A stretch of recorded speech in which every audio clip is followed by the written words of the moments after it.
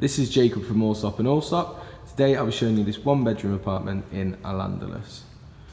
So as you step into the apartment, you've got open plan kitchen with a utility room, plenty of space for washing machine, tumble dryer and some extra storage. And then open plan living area. It's well separated so you've got space for a dining area and a living area and there's also a guest bathroom.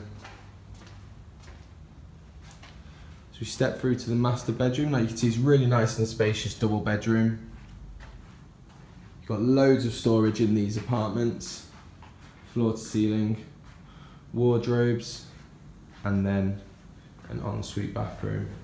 It's 777 square foot internally. A really good size one bedroom apartment.